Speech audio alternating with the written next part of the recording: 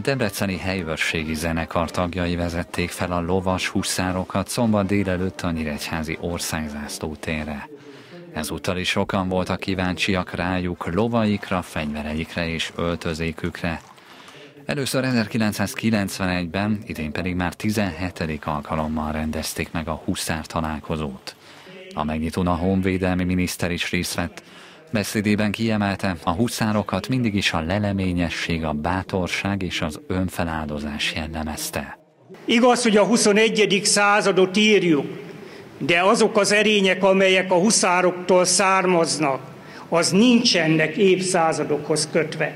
Az az emberiségnek a fokmérője.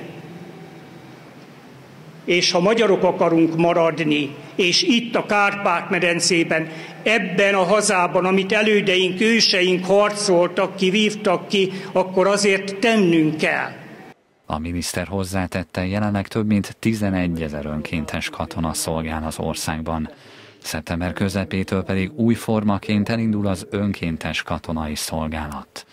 A megyei közgyűlés alelnöke azt hangsúlyozta, a honvédek a hit, család és haza egységét képviselik. Örökséget kaptunk, és ezt az örökséget tovább kell vinni.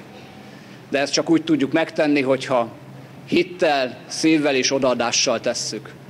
És hogyha át tudjuk adni az utánunk következő generációknak. Ezért nagyon fontos az, hogy mindig legyenek, akik át akarják adni. Hiszen ezt a tudást, az őseinktől kapott tudást, örökséget és hitet. Azért kell továbbadnunk, hogy a megmaradásunk záloga az mindig meglegyen. És a következő ezer évben is magyarként tudjunk élni itt a Kárpát-medencében.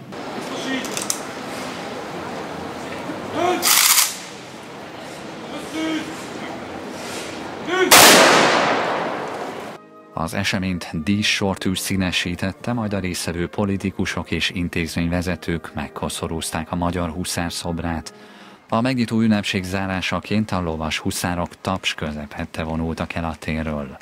Délután a múzeumfaluban folytatódtak a programok mások mellett fegyverbemutatóval, vívás oktatással és motoros rendőrök rendőrkutyák bemutatójával.